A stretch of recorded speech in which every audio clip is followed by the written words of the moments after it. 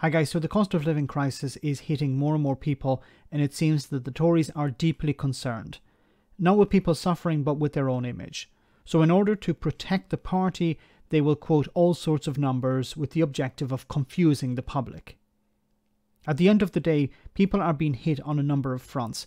Generally, inflation is expected to peak at something like 9% this year, but that makes its way into rising fuel prices, which means more expensive food, clothing, and consumer items.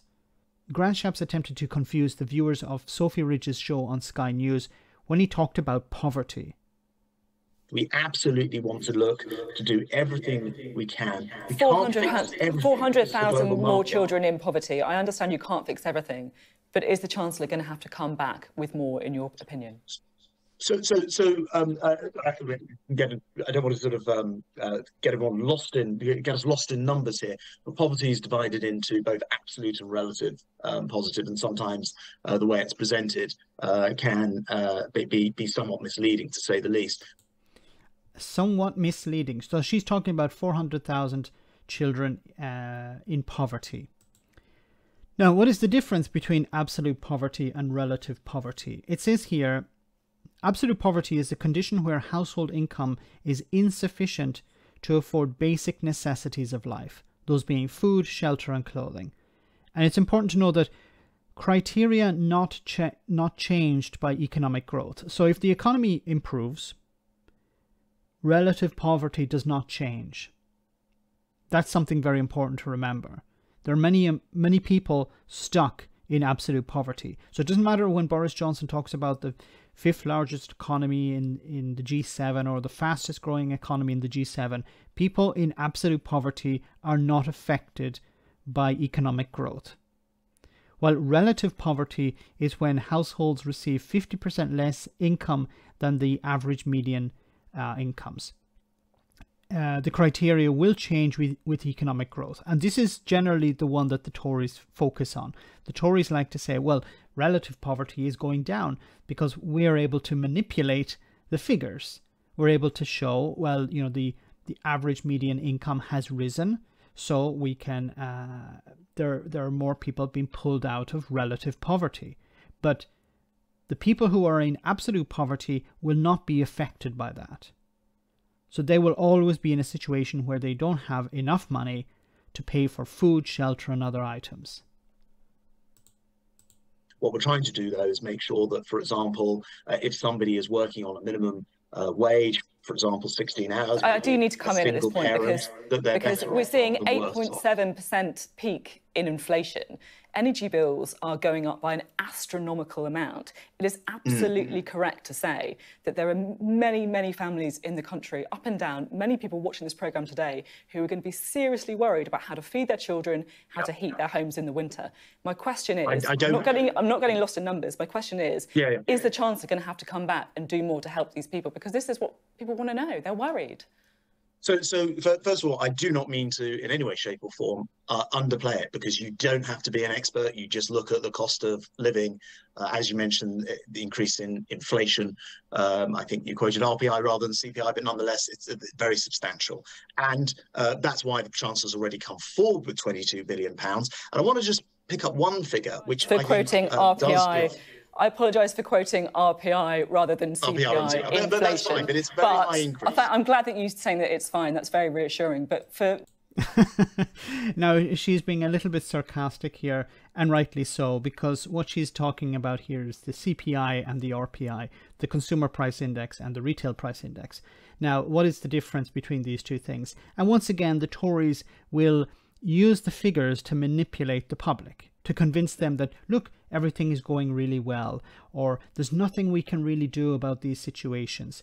So the, the CPI measures uh, the weighted average price of, a, of the basket of goods and services consumed by households. The RPI is a measure of consumer inflation which considers the changes in the retail prices of a, of, bas- of a basket of goods and services. Um, but there is a there is a difference here. It says um, the components of the CPI and the RPI. The market basket uh, involves uh, involves food, beverages, and uh, tobacco, fuel, fuel and light, housing, clothing, bedding, and footwear, miscellaneous.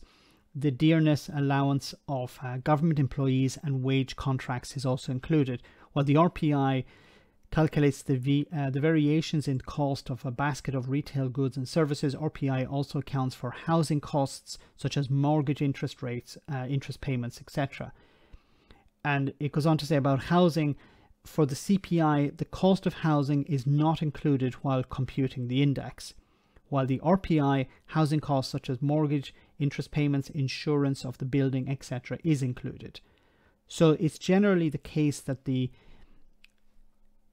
the, the government, the Tories, will focus on the CPI and not the RPI uh, because it doesn't include certain things uh, like mortgage interest rates, for example.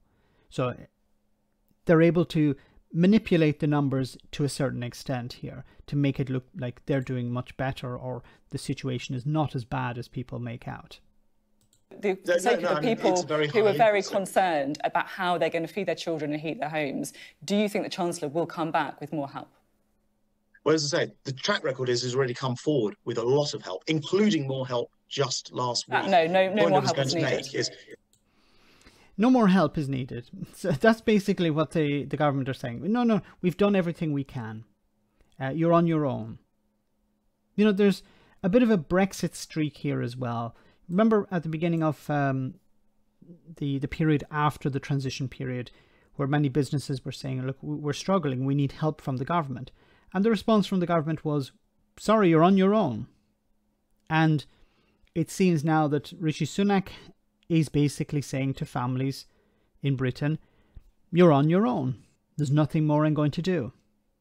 Uh, we could have increased universal credit. We decided not to. We could have increased legacy benefits. We decided not to. We could have um, increased, brought in something similar to the universal credit uplift, so a temporary thing. We decided not to. If you're struggling, you're on your own. Don't worry, you can go to a food bank. Uh, you mightn't be able to cook that food, but you can still go to a food bank. Remember, they're uplifting, as Jacob Rees-Mogg said.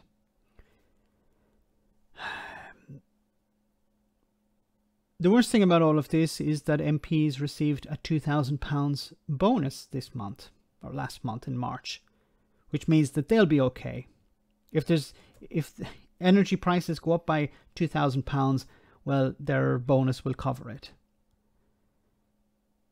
The big problem here is that many people will continue to vote for these charlatans. They don't care about you. They never did, they never will you need to turn out and vote for someone else. Tactical voting. Get these people out. It doesn't matter if it's a vote for the Greens. It doesn't matter if it's a vote for the Labour Party um, in Scotland, the SNP, uh, the Liberal Democrats in England. It doesn't matter. You need to get the Tories out because they do not care about you. They will try to distract you by saying well, we care about you by sending spending billions here and billions there. In reality, they don't care. They never will. They care about their donors. They care about the rich. Let me know in the comment section, guys, what you think about all of this. As always, your comments are greatly appreciated. Thanks a lot.